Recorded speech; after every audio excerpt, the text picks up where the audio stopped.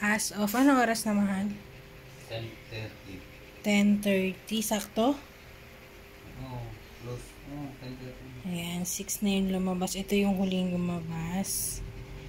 Ayan. Saan ka punta, be? Dito ka dito, oh. Bali, tatlong babae, tatlong lalaki na yung lumalabas.